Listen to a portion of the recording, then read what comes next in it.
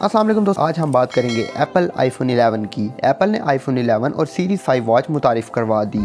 جدید technology company apple نے آئی phone 11 کے مختلف ماڈلز متعارف کروا دیے ہیں۔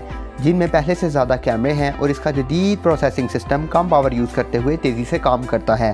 کمپنی کا کہنا ہے کہ آئی فون 10 پرو کے دو نئے ماڈلز کی بیٹری پرانے ماڈلز کی نسبت چار سے پانچ گھنٹے زیادہ کام کرے گی۔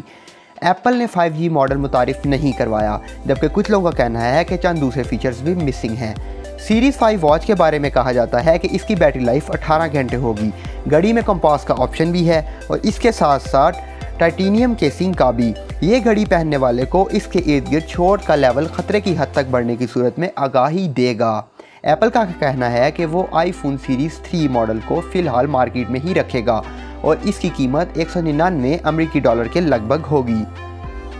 نئے آئی فون ماڈلز میں قابل ذکر چیز الٹرا وائڈ ریئر کیمرہ ہے، جس کا آپٹیکل زوم دو سو فیصد ہے۔